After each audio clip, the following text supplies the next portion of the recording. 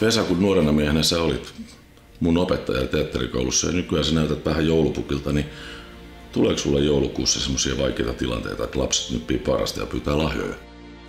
On tästä ollut puhetta. Nyt kun nämä näyttelijän työt on muuten loppu, niin mä voisin tota, työllistää itseni jouluna. Hauska joulumuisto on, tämä on joulun alta, tämä ei ole ihan aattoa, mutta mun tätini toi, hän oli Saksassa opiskelemassa jossain Bayerissa ja toi mulle ja mun veljelle lederhosenit, nahkahousut, semmoiset, saksalaiset vetimet, niin meillä oli just hankittu uusi televisio.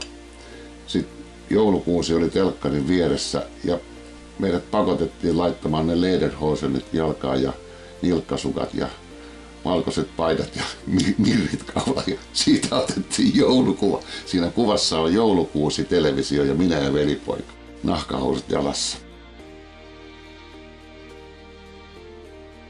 Kyllä se kinkku on.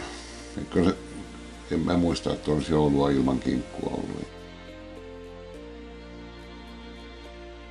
Kyllä se on melkein ihan vaan toi, että ruokaa laitellaan ja kevyesti klökitellään ja ja sitten jo syödäänkin. Ja tietysti lahjojen avaaminen ja joulukuusi on kyllä ollut, ollut aina. Joku tämmöinen, että se on niin kuin loma, jossa saa rauhassa keskittyä muihinkin kuin itseensä tai työhönsä. Hyvää joulun odotusta kaikille. Ollaan iisisti.